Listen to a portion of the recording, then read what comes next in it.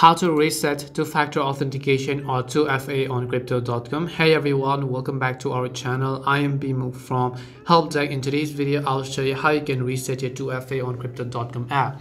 Now, if you recently received a message from the crypto.com app or crypto.com exchange requiring you to reset your 2FA, what you have to do is tap on the setup 2FA button, then switch on the toggle to the enable 2FA one and then you have to simply you can see this option that is enabled 2FA if it says you to go ahead and then reset it. After that you have to simply proceed to verify and then you have to launch your authenticator and add a new account. Now you might be required to enter a unique name for your crypto.com app or exchange in your authenticator app. For example you named your previous 2FA account for the app crypto.com so name your new one as crypto.com too.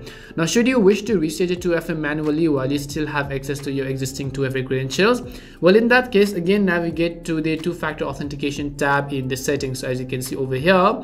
Then after you do that tap on the button that says reset 2FA which is at the bottom of the page. Now you have to confirm that you have access to your existing 2FA details. Then authenticate yourself with your passcode or using your current 2FA code. Then again simply copy or scan the code that is displayed. Then again what you have to do is launch your authenticator app and add a new account. And after you've done that you would have successfully actually gotten and resetted your 2FA now in the event that you lost your device access to your authenticator app or access to your verified email. What you can do is in that case you need a photo of yourself holding a piece of paper with your first name and last name and then today's date and year. Then you might be asked to request it to include additional authentication information upon contacting the customer support team. But that's all it takes to reset your 2FA or two-factor authentication on the crypto.com app. We hope the video was really helpful and if it did help you make sure to leave a like and subscribe to our channel. If you have any more questions feel free to leave them down. Thank you very much for watching and see you soon in our next video